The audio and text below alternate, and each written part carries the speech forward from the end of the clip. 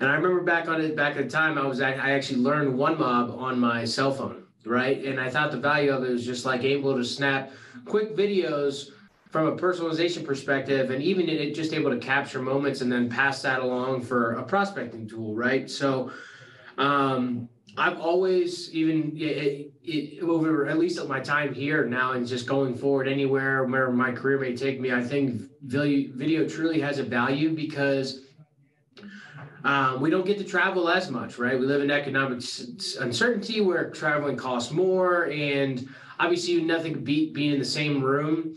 But I think video is a very big differentiator in a very competitive game of sales, right? Where um, we're in a UCaaS space that's filled with a lot of similar competitors and people are getting hit up all the time. So, any way that I can do to put a stamp on Jeremy's brand being different and um, exposing myself as somebody that's like doing the research and putting a face to the name and like putting a stamp is like, hey, I'm reaching out to you for X reason, but I'm also willing to put my actual face versus just some sort of emoji or you know icon on an email. I think says a lot, um, and it's just you know because it's it's truly a different game. You know, people really require personalization. They don't like you know blasting. You've got to really take your time and understand a customer's needs versus just trying to get meetings. I think today, right? Um, too many folks, um, they they go through the motions, right? They're you know they're given a book, they're given a number, and you know they just they have certain KPIs they want to hit, right? Um, so they just you know hit send a lot of times. They put you know all these con- similar contacts into a box, and they're not taking the time to understand the business. Um, some of the meetings that I've set through video, right? really took the time of where I'm ordering a customer's product from their website or just something personal from their store and wearing their t-shirt or and finding a you know manufacturing plant in the middle of Oklahoma something that's really just alerts or triggers something that's like wow that's part of my day to day like I spent you know I don't do this for everybody because you know speed is also a part of this job but when you're going after somebody specific um, uniqueness is required um, and it sometimes takes two or three times, but the more times you're actually willing to expose yourself as a human, the more times are people are willing to meet you in the middle and at least give you an at bat. Um, and, and, video is definitely a uh, why that's it's just truly why I leverage that, and I've realized that it's just it's it's a uh, it's it's broken down a lot of doors for me and it also breaks down a lot of barriers before an initial conversation says it. Shows it like hey this isn't some like virtual bot or bdr that's reaching out this is an actual human and i'm invested in hey you've had x y and z challenges maybe through some conversations i had over the phone i'm relaying that so that we can solve these um, you know issues together back um, this was actually march of 2021 right? But i always remember this one because i really took the time. This guy's a heavy mississippi state grad and he had it i mean i searched on his facebook.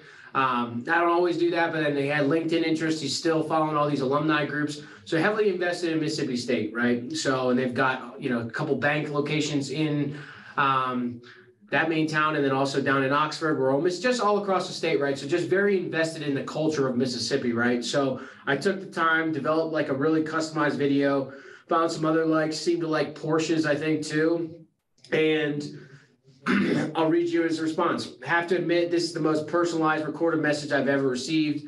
I look forward to potentially evaluating Zoom in the new year. We have X amount of time with the competitor which was fine. I didn't get it. It was a delayed gratification, but it, the fact that he said this is the most person, I mean, it, those are the little wins that you kind of stack, right, to build towards the big shebang in the long term, right? So I'm able to kind of use that little bit of momentum to just drop him, you know, hey, because he he closes a message, hey, keep me posted on what's coming out. He ended up attending Zoomtopia, and then that deal closed last year, right? So or over time, right? So it was uh, it, it started small but you know, this this guy, and obviously he's a CIO. He gets tons of crap in his inbox, and the fact that you know I, I had a catchy headline and there was a human behind the screen, you know, um, it. Uh, I, I, that it's just funny. I, that's the one I instantly remember because it's just I don't always get those, but I get those more than you'd be than you'd think, right? Where it's just like when people are actually take a second to where it's just like, all right, this guy's not trying to be like a, you know, used car salesman. He's just trying to really pique interest into my own personal world, but also maybe some trials and tribulations that my business is going through and has potential outcomes or uh, solving techniques for me. Great. Don't be afraid to humanize yourself because I think a lot of times like people still they're you know I we're in a culture of video all day every day, but I still meet with so many people and I talk to some sales reps that or friends of mine that use Zoom, but they're not on video all the time, right? And people you really got to be comfortable to seeing yourself in the mirror, right? You know, uh, you wake up every day. You know, one of the things is, is this is not even like a sales thing. Is it's like, do you love what you see, right? And I think that's you know, the more often than not that like you're working on your personal self and being able to like what you bring to the table every day, the more comfortable you're going to be able to be in your day-to-day job. And, you know, ha- it showcases in your confidence and your research and your creativity, the more that, you know, the what's between the ears is in a good place, right? So, and that's it's going to be different for everybody but I think it's it's the world is changing, right? I mean, the phone is still the number one sales weapon. Don't get me wrong. I can talk to someone faster. I've got a chance to get connect with someone in five seconds if I get their mobile phone. Great, but a lot of people still like you've got to rely on a second, you know, weapon in your arsenal, and video can truly be that. You just got to get comfortable with it, right? And I'm also I'm also a one take guy. I'm not somebody that like writes out big scripts. You know, I do have a couple bullets on like a note, like a I note like on the in the background. But if I mess up or something, I, I truly like unless it's horrible, I don't restart because that's another way of exposing yourself as a human versus like I'm just reading down some script that like kind of seems like oh I'm going from manufacturing company to manufacturing company saying the same darn thing just changing the name versus truly doing my homework right so it's it's it's uh like it's scary right? People like sometimes they don't like to be the leader. Not everyone's an alpha right? But you know the more reps just like in anything that you do phone calls shooting a hockey puck playing basketball whatever it may be the more you do it naturally most over time get better at it. So familiarize yourself humanizing yourself will uh, lead to more individual and team wins uh, down the road. You got to go into with if you're going to use video you got to go into it with a plan right? And every plan can be different, but make sure you do. You're not just blindly trying something and then just like worrying about if it's going to work or not. You got to have some conviction behind it, and then you know, you know, once you start to A/B test things, you'll see what works for you, and then you know, you start to add it to your repertoire um, as a as a regular thing. All my C-level intros now, um, outside of if I can if I can leave, I always try and one, I'll call their executive assistant because the most almost have gatekeepers. That's just how it is. If I can sneak a mobile phone, great.